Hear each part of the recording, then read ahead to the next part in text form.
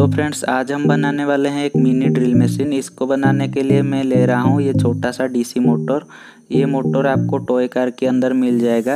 अगर आपके पास toy car नहीं है तो आप इसको इलेक्ट्रॉनिक्स की शॉप पर परचेस कर सकते हो। ये आपको दस रुपये में मिल जाएगा।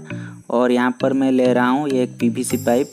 ये लगभग छः सेंटीमीटर का है। तो फ्रेंड्स, अब मैं यहाँ पर इस पीवीसी पाइप के अंदर इस मोटर को डाल देता हूँ। अगर आपकी ये मोटर इस पीवीसी पाइप के अंदर नहीं जाता है तो आप इस पीवीसी पाइप को थोड़ा गर्म कर लीजिए और उसके बाद इस मोटर को इस पीवीसी पाइप के अंदर डाल दीजिए, वो अच्छे से चले जाएगा।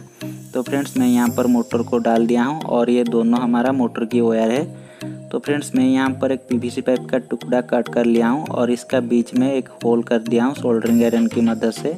और यहाँ पर मैं क्यों होल किया हूँ, आपको आगे वीडियो में पता चल जाएगा। तो फ्रेंड्स, अभी मैं ये वाला चार्जिंग सर्किट ले रहा हूँ। ये आपको पाँच रुपये में मिल जाएगा इलेक्ट्रॉनिक्स की सब पर। अगर आपके पास नहीं है तो आप इसको ख़रीद सकते हो। तो मैं यहाँ पर इस चार्जिंग सर्किट को इसके अंदर इस तरीके से फंसा देता हूँ और यहाँ पर इसको टाइट करने के लिए मैं यहाँ पर फेविक्विक भी लगा देता हूँ। तो फ्रेंड्स, यहाँ पर इसको फेविक्विक के दौरान चिपकाने के बाद हम यहाँ पर इस चार्जिंग सर्किट की दोनों वायर को, हमारी मोटर की दोनों वायर के साथ सोल्डरिंग कर देंगे। यहाँ पर कोई भी पॉजिटिव नेगेटिव नहीं है। आप यहाँ पर जो वायर को जिसके साथ सोल्डरिंग कर सकते हो तो मैं यहाँ पर इसको सोल्डरिंग कर दिया हूँ, आप यहाँ पर देख सकते हो। तो फ्रेंड्स अभी मैं यहाँ पर इस सोल्डरिंग के ऊपर टेपिंग कर देता हूँ, ताकि यहाँ पर शॉर्ट सर्किट नहीं होगी। तो मैं यहाँ पर टेपिंग कर दिया हूँ, और मैं यहाँ पर इन वायर को इस पीवीसी पाइप के अंदर फिक्स कर लेता हूँ। इस तरीके से मैं यहाँ पर वायर को इस पीवीसी पाइप के अंदर घुसा देता हूँ। और इसको मैं यहाँ पर ग्लू के दौरान चिपका लेता हूँ। आप इसको फेबिक्विक के दौरान भी चिपका सकते हो। तो फ्रेंड्स, आप यहाँ पर देख सकते हो, मैं इसको ग्लू के दौरान चिपका लिया हूँ। और इसका ड्रिल बिट बनाने के लिए मैं कुछ इस तरीके का जुगाड़ किया हूँ।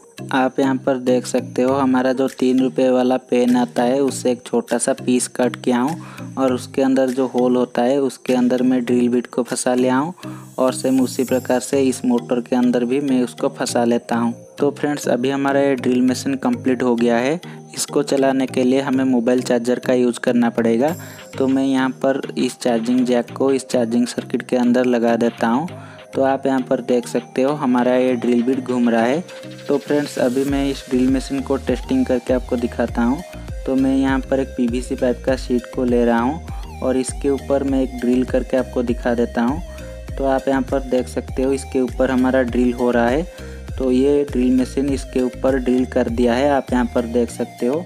तो ये जो हमारा ड्रिल मशीन है, ये बहुत ही छोटी है और ये हमारा इस तरीके की छोटी छोटी चीज़ के ऊपर ड्रिल कर सकता है। बड़ी बड़ी जो लकड़ी आता है, लोहा आता है, उसके ऊपर ये ड्रिल नहीं कर सकता है। तो फ्रेंड्स आप अपनी छोटी मोटी ड्रिल करने के लिए इस मशीन को यूज़ कर सकते हो। और ये मशीन आपको कैसा लगा, मुझे कमेंट बॉक्स में कमेंट करके बताइए। अगर ये ड्रिल मशीन अच्छी लगी है तो प्लीज़ इस वीडियो को लाइक कर दीजिए और अपने दोस्तों के साथ शेयर भी कर दीजिए। अगर आपने हमारे चैनल में नए आए हैं तो चैनल को सब्सक्राइब करने के साथ बेल आइकन को प्रेस करके ऑल पर दबाइए, ताकि हमारा नया वीडियो का नोटिफिकेशन आपको सबसे पहले मिलेगी। तो फ्रेंड्स आज के लिए मैं रहता हूँ। जय हिंद, जय भारत, वंदे मातरम।